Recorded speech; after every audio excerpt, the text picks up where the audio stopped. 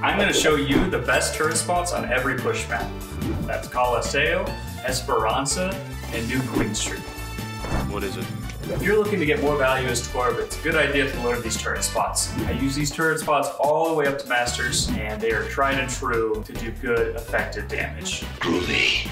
If you know any other good spots on these maps, please leave them in the comments below, so we can improve as a community. Let's dive right in. First thing I like to do is go through the entryway and go to this parlor. And placing the turret right at the end of the table. This provides great cover at max range, while you're in the back line sniping opponents. If you build it, they will die. Pushing forward to the first turn, you will want to put a turret here to hit the back line and open up the crossfire. The closer you can get the turret to the parlor wall, the better. After you round the corner, put the turret close to the vegetation here at the corner underneath the stairs. This will really open up the crossfire. While playing around first point, put the turret anywhere under the bridge. This will really punish anyone jumping from top of bridge or going down the stairs. Pushing into last point, you'll want to put the turret close to this column. The little uphill from the bridge actually makes this turret really hard to hit. Tried to cheat? When fighting for the last point, put the turret behind any of these walls. This will punish anyone trying to rush your point. For the first fight on Esperança, you have two viable options. This one you can put between the wall and the stairs, and covers your back line, protect against flankers. Second option is to put the turret here in this room to help push the front line at max range. Moving on to fighting over bridge, you have two options yet again. One turret you can put on top of the bridge. If you put it farther back on the bridge, it will limit its line of sight for people coming out of Mega and make it harder for supports to kill it coming from the other way. The other option is to hug it to this wall and it'll cover the room under the archway.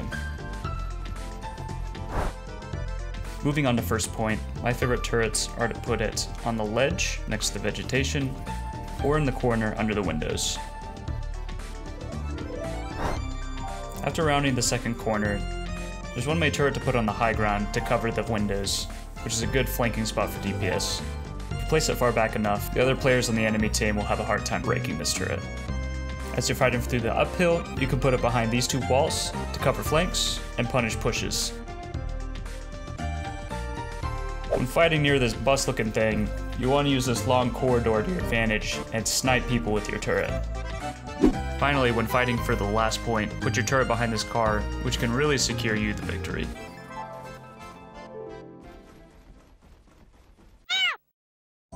Unfortunately for us, Blizzard tried their best to patch out any fun turret spot that we could possibly have. There's not even any collision on trees. But fear not, there's still some decent spots that we can work with. Approaching first fight, this carefully placed turret can cover a whole lot of ground and be difficult to destroy. Since fights happen here a lot, you can switch up your turrets by putting it here behind the statue, which can make it difficult for supports to hit, or right behind this bench to accomplish generally the same thing. Additionally, you can put the turret on any of these ledges that have an opening.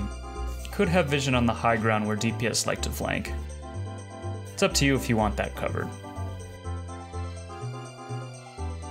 Approaching the first checkpoint, I like the turret right under here, close to the boxes. It'll cover the ramp at max range, as well as any flankers. If you're defending at this stage, a turret here can generally do pretty well.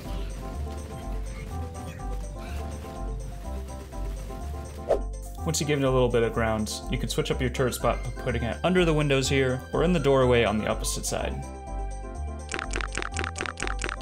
Pushing the last bit of point, you have two options here. You can put it in this doorway to punish people pushing into you, or you can put it behind this corner where they can't shoot it from the stairs, hopefully securing you the victory. So you made it to the end of the video, but wait, it probably means you're serious about improving as a Torb main. As an effort to put out more educational content, I will be offering free coaching for any DPS mains, ranks Diamond or below, preferably Torb mains. If you are interested, please join my Discord in the description below to find out more details. Please leave comments below if this video is helpful and what type of video you'd like to see next. With that, have a fantastic day.